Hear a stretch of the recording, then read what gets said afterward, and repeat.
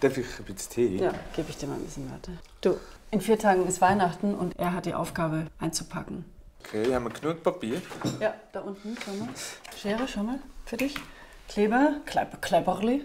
Ja, so, Moment. Okay. Also die Herausforderung beim Geschenkli packen ist natürlich, dass man nicht zu viel Papier braucht, da effizient ist. Vielleicht sollte ich dort keinen ästhetischen Anspruch haben. Gut, es könnte dann auch äh, Ein Tennisschläger, sein. Tennisschläger Eben, genau, das ist sein. doch eine Oh, ist E-Gitarre. natürlich. Ja. Äh, Hm? aha, okay. Äh, ich weiß doch auch nicht. Ich frage, Sibyl, was hättest du gern? Weil dann bin ich sicher, das sind die richtigen Geschenke. Oder? Es ist extrem unromantisch, oder? Wenn man drei Tage vor Weihnachten gefragt wird, was wünschst du dir? Fällt doch nichts mehr. Haben doch alles. Alles. Kannst du auch reden und einpacken gleichzeitig? Geht das? Darf ich dir irgendwie helfen?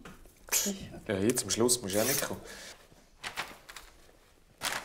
Nicht schön, aber Nicht mehr, verpackt. ja, vor allem Mit nicht, Liebe. Nicht mehr, nicht mehr erkennbar. Ja. ja, okay. Das ist schon mal was, oder?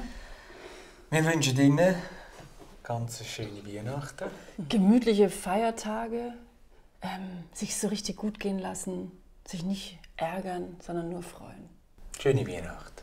Schöne Weihnachten.